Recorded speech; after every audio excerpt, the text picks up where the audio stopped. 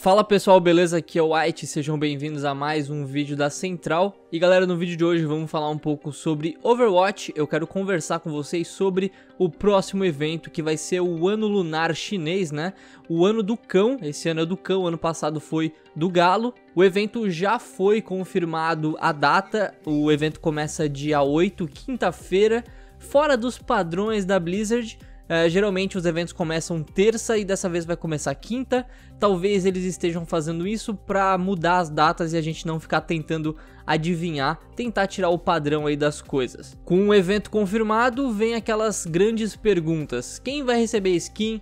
O que, que vai vir de novidade? Vamos ter novos modos de jogo? O que, que vai ter de novidade pra gente? Então nesse vídeo aqui a gente vai falar sobre as novas skins, o que, que a gente pode receber nesse evento. Recapitulando as skins que a gente teve ano passado, eu vou colocar na tela para vocês todas elas. A gente teve a Ana, teve também do Bastion, teve também Junkrat, Mercy, Symmetra, Tracer, Diva, Mei, Roadhog, Reinhardt, Winston e também Zenyatta. Lembrando que a Mei recebeu duas skins e foram duas lendárias ainda. Então ao todo a gente teve 13 novas skins ano passado. Pelo padrão da Blizzard, provavelmente esse ano a gente vai ter menos skins e todas serão lendárias. Todos os eventos até hoje não tá vindo mais skins épicas, eles só estão acrescentando skins lendárias. Então eu acredito que possam vir 7 ou 8 skins novas. Então nesse ano de 2018, no evento do cachorro, eu acredito que provavelmente eles não vão repetir skins, principalmente para quem já recebeu skins lendárias ano passado. Claro que uma exceção, galera, a Mei, ela é chinesa.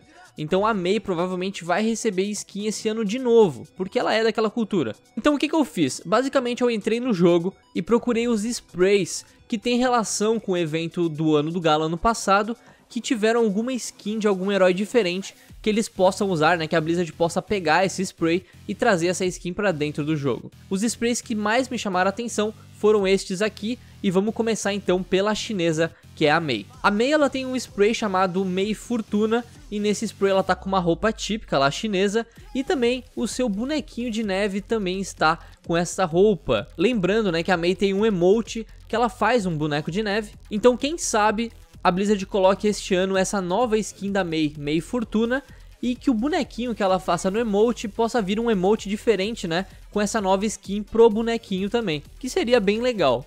Outro spray que me chama muito a atenção é da Widowmaker, chamado Widowmaker Hairpin. É uma skin totalmente diferente e que provavelmente será lendária também, assim como a skin que eu mostrei pra vocês da Mei. E eu procurando aí pelo Google da vida, encontrei um conceito de arte dessa nova skin da Widowmaker e eu tô colocando na tela pra vocês como ela ficou bonita. Talvez esse conceito de arte ficou um pouco meio forçado, provavelmente não viria desse jeito pro jogo. Eu acredito que eles vão fazer uma coisa mais simples, mais parecida com o que tá no spray. Além da Widowmaker e da Mei, eu acredito que dois heróis possam receber skins também nesse evento, que é o Hanzo e o Genji. Até vazou uma imagem um tempo atrás que dizia que o evento ia começar dia 28, mas era fake, e nessa foto tinha duas skins do evento, que era o Hanzo e o Genji. Muitos de vocês gostaram dessas skins e falaram que gostariam de comprar, de ter elas no evento, porém era uma imagem falsa, infelizmente, porque o evento vai começar dia 8, confirmado pela Blizzard,